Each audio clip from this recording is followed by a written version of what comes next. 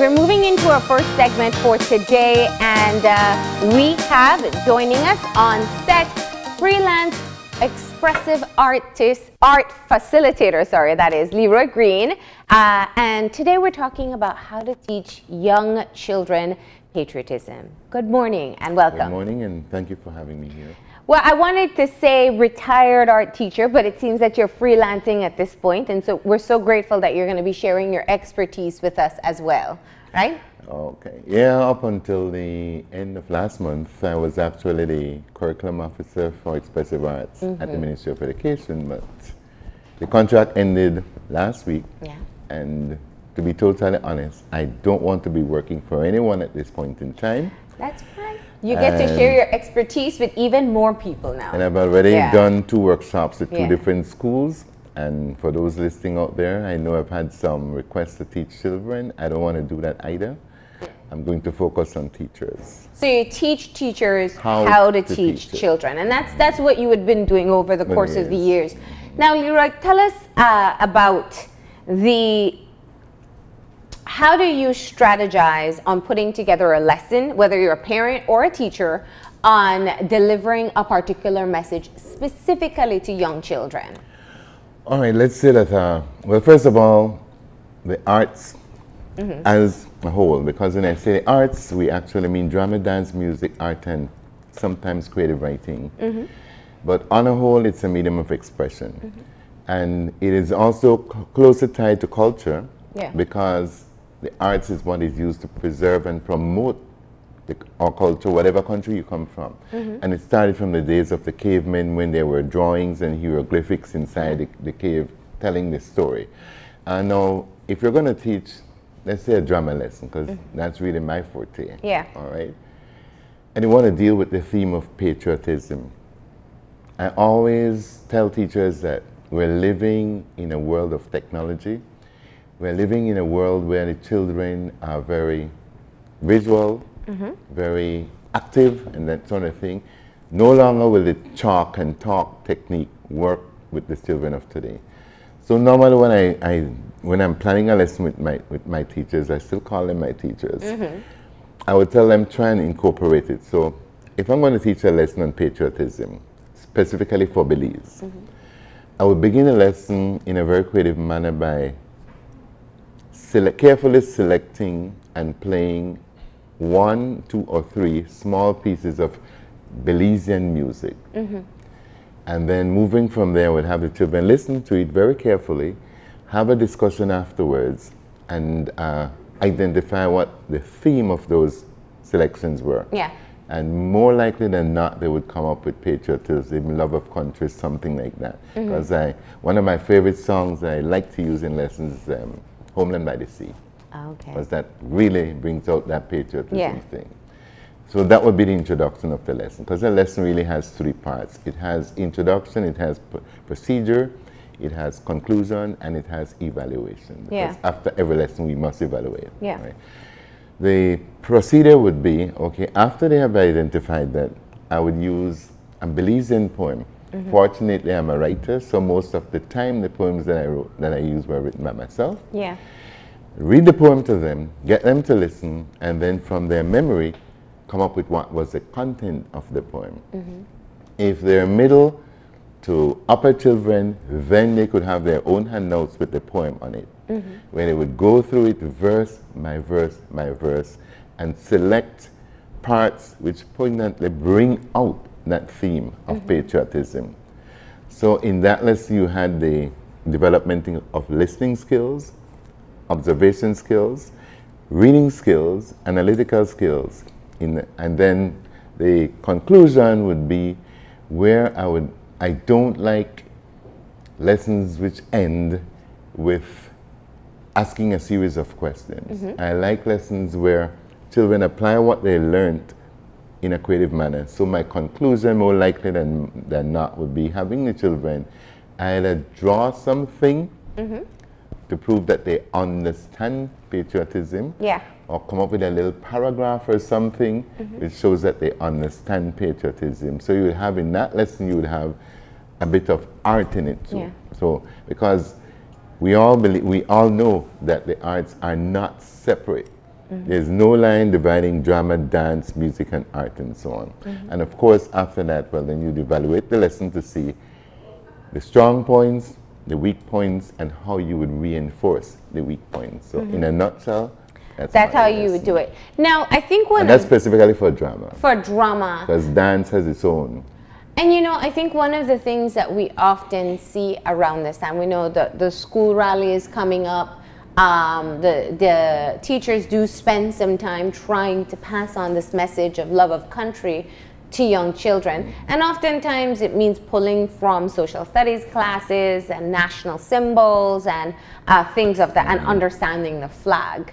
Um, what do you think are some of the ways that you've learned in your experience uh, really resonate with children? That they'll take away the message beyond memorizing the national animals. The hands-on thing. Yeah. Because even in social studies, yes, you're teaching social studies concept, mm-hmm. but again, I would have them concluding that lesson doing something artistic. Mm-hmm. So whether it's dealing with the flag, the national symbols or what, the conclusion would be something that they would apply the skills, the techniques, the concepts that they learned in that mm-hmm. lesson in an artistic manner. So if the lesson, the social studies lesson was based on understanding of flag, probably at the end of it, if they were small children, there's something that I always encourage the children to do, make a diagram of the flag, yeah. but not simple drawing. Okay. I would give them uh, red, white, and blue paper, mm-hmm. and they would tear it up, cross it, crumple it, and make the flag out of those bits of crumpled paper. Okay. So because young children at that age they need to actually uh, develop their finer muscles. So yeah. that would be a chance to even for some physical development mm-hmm. in that lesson. Okay. Right. And we said that we spoke a bit about drama, and you used the example of reviewing patriotic poems. What about uh, the skits that we usually see? How do you get young children to be involved at that level? Well, uh, what teachers need to realize is that to get children to perform a skit and give it meaning. Yeah don't just give them it on a piece of paper and say memorize it. Yeah. First of all, when you're teaching a skit, you got to teach it like a language arts lesson. Mm-hmm. Right? So maybe you can do it in your language arts lesson where you tie in the language arts with the art lesson.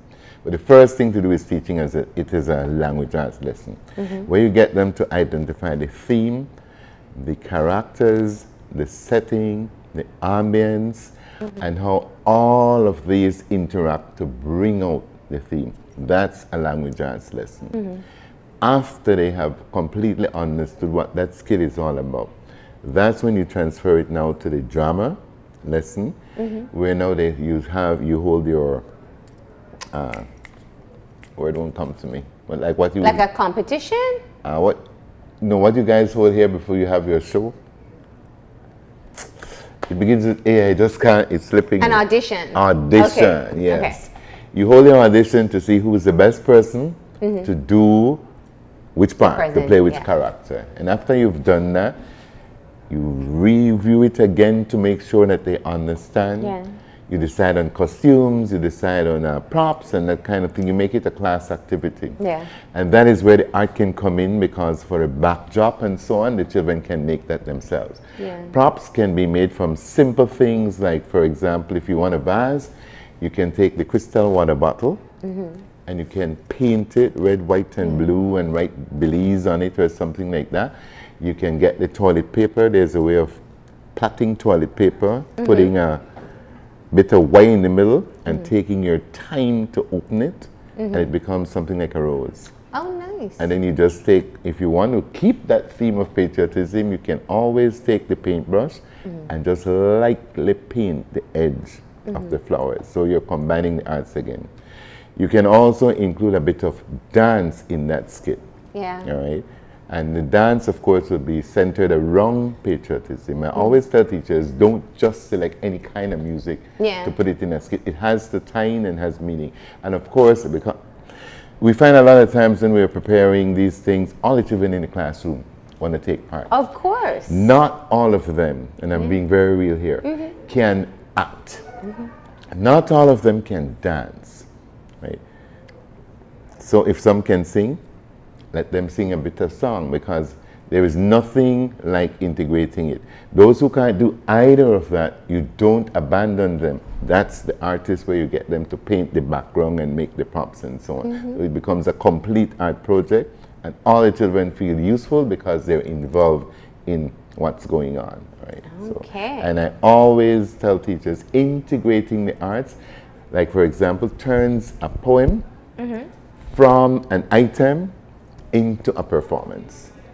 Right? Now, you know, I, when, when, you, uh, when you mentioned dance, one of the things came to mind that I believe we've discussed before when it comes to the Festival of Arts, that we have a very um, predetermined. I think people kind of feel that Belizean dance means big skirts or punta. No. Um, how do you, yeah, and, and, and that's what I wanted to explore further. If you no. want to introduce or allow for true creative expression from the children to express because patriotism, I, how do you do that? I'm glad you asked that question because a lot of times Belizeans do believe that if you're not wiggling up your waist or something, you're not dancing, and if it's not the punta or so on. There's like my favorite song again, Homeland by the Sea. Yeah. There's no way you can punta to that. Yeah. Right? And what the public needs to realize is that a dance has to tell a story mm-hmm. because the teachers have to write a synopsis of the dance first of all mm-hmm. and send it in with their entry to the festival of arts so that when we look at that dance we can know what story it is mm-hmm. illustrating so arms limbs and bodies and that song i can see the song homeland by the sea being danced is what we call a creative classical dance mm. because in Belize there's no real real classical dance when it comes to ballet mm-hmm. because ballet is being is done on your toe points yeah. for the whole time. Yeah. That is not done in Belize. But we have dances which I use a lot of the techniques and elements from the ballet, and we call it creative classical, where the movements are graceful and so on. Mm-hmm. So a dance like that can be even more effective than having them just dance the punta, or not the punta, I'm sorry about that, the yeah. punta rock. Yeah. Because there's a difference between the punta and the punta, and the punta rock. That's true. So true. I have to say the punta because the punta rock because the punta is really a cultural dance. Yes. And you can't yes. change that at all. Yes. Right? Because that's another thing too that we see happening in the festival. Teachers might send in an interesting um, uh, folk and traditional dance, mm-hmm. but then when the music comes on, it is Sweet Pain or somebody like that, and I love their music and yeah. so on, but it's not. That is not, it's not traditional. Uh, traditional. Yeah. That is what, what you call creative modern dance. Yeah. Right. So. Now, what are some of the other creative ideas that you think uh, perhaps are underutilized in being able to deliver this specific message? Things in the environment. Hmm. Because you can easily, if you notice, there are a lot of stones about Mm-hmm. Flat stones, especially those ones that you find in the riverbed in Cayo and so on. Yeah. Those can easily be painted, mm-hmm. uh, maybe with a white background, the flag, and maybe painting in small letters. I love Belize. Mm-hmm. It becomes paperweights. Yeah. Right. You have things like the coconut palm, mm-hmm. where you can make mats, Belizean mats. Mm-hmm. And these are things that I'm just trying to take yeah. out of my head. You have uh, like teachers who are especially creative, they can also write their own songs and they can put it to the tune of a song that the children already know. Yeah. Or they can also, or they can even, if they are really musicians, come up with their own tune for the mm-hmm. song we when I go when I used to go about, I used to teach teachers how to the format of scripts mm-hmm. and encourage them to write their own thing. Mm-hmm. And uh, what we encourage teachers to do is not to try and just be general in your patriotism. Yeah. If you come from Cayo, deal with something that the children up there know. If you are from Punta Gorda and your children are largely Mayan, nothing is wrong with having your script done in Mayan. Yeah. I remember one year, a little boy came into the Festival of Arts. He was five, and I think he was the son of an ambassador, mm -hmm. and he spoke only Spanish. Mm -hmm. But the teacher came and said he, he talks only Spanish, and I said to the teacher, I don't talk Spanish, right? Mm -hmm. But at the end of the story, the little boy, I went to the teacher and I said, he was telling a story about his chicken that was lost and he was all over the place looking for his chicken until he gradually found his chicken. Uh -huh. And he said, but I thought you don't understand Spanish. Uh -huh. I said, no, but the, the, way the little boy used his face and yeah, his hands. The expressions. just the expression yeah. told me what he was talking about. Mm. And then he had a live chicken on the stage. of course, it was tied up, right? So right away I connected the yeah. two and I knew what it was. So the arts depends a lot on vocal expression, facial expression, body expression. When I say the arts, I mean all of them except art. Mm -hmm. Because even dance, your face plays mm -hmm. a vital role. Because if you're dancing a happy song, how will your face look down in the dumps? Yeah. If you're dancing or expression, you're dancing a liturgical song, which is a song of praise. Well, that's when your face looks serious. Mm -hmm. If you're dancing a song about death or some theme like that, you can't be smiling. Yeah. And one of the things that I hear people saying is, uh, make sure you make eye contact with the audience. Mm -hmm. That is wrong to tell to tell our performers. Mm -hmm. The thing to the trick about performing on the stage is to look above the audience head, and they're going to feel like you're looking, looking right at, at them. Because yep. by staring them in the face, you can easily get distracted. Because right now I'm looking, true. I'm looking over your head. Yes. But it looks like I'm looking directly in your face. Right? I tell people this trick all yes. the time and because it does help. It does. Yeah. And recently I was working with one of the candidates from Queen of the Bay. Mm -hmm. She's actually the Queen of the West. And she called me like last minute and said that they said that the costume and everything that she wore for the talent must be uh, patriotic. Mm -hmm. Well, I said to her, at this point in time, your pageant is Saturday, I think it was. Mm -hmm. And they're going to tell you that Thursday, when I've already done the costume for you, the costume is yellow gold and black. I said, but I'm going to send the description of it because patriotism does not have to be expressed in white, red, and, white, red, and blue.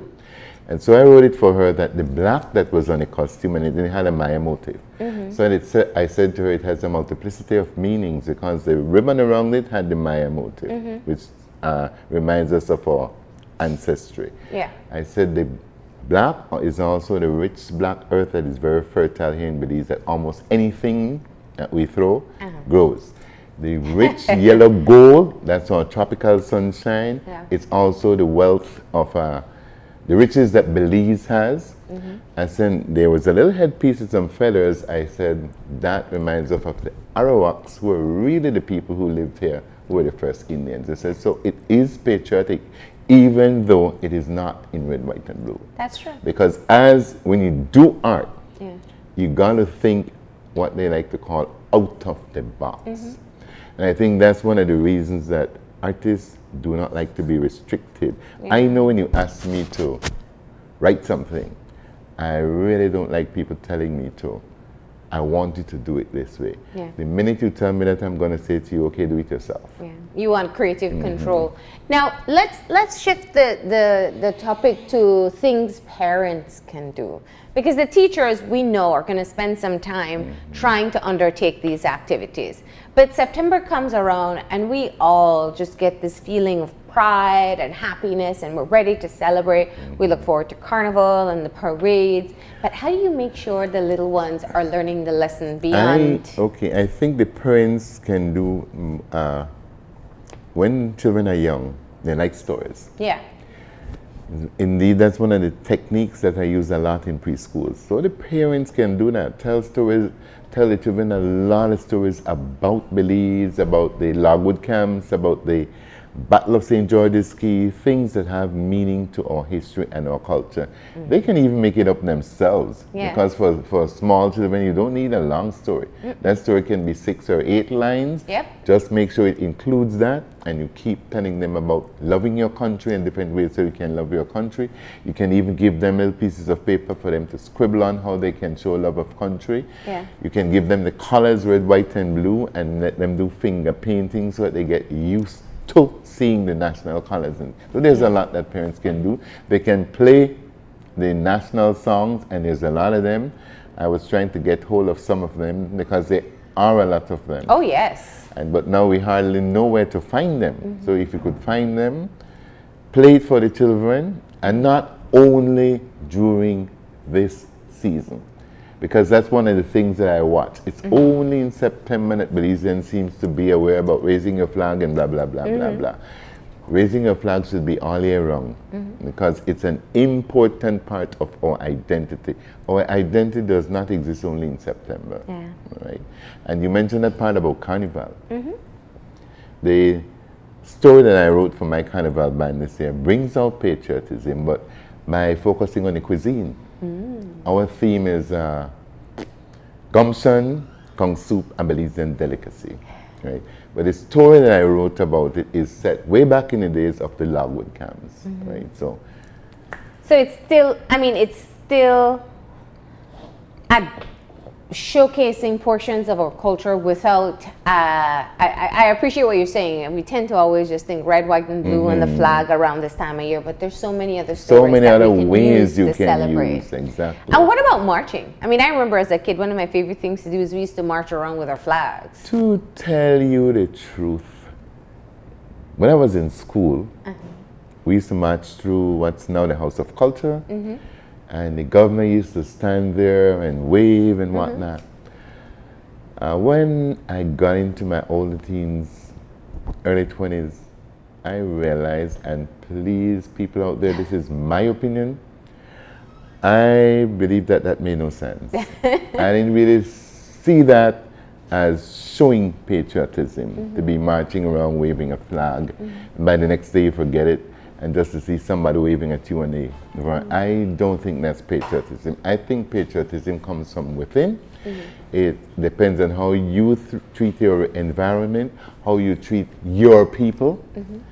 how you promote your country, because I believe that whatever way, whether we promote our tourism, whether we promote our food, our culture, and we do it with a passion, that is expressing patriotism, not marching and waving a flag. Mm -hmm. And it's one of the reasons I never take part in any kind of marches except but you do do your carnival. Yes, Everybody because I you. do carnival yeah. because to tell you the truth, I'm someone who hardly goes out. Yeah. And that is one of my means of enjoyment. Yeah. yeah. Right? And and you know people look forward to it. So I, you know we appreciate you stopping in and sharing some of these tips. Uh, uh, one of the things we do want to ensure is that the younger Belizeans coming up will have the love and appreciation uh, that they should have for their for country. And it starts from teaching them at exactly. a very young age. Exactly. So and thank you for coming in. And it's something that I think we really need to focus on because mm. some observation over the years, we're fast losing it. Yeah.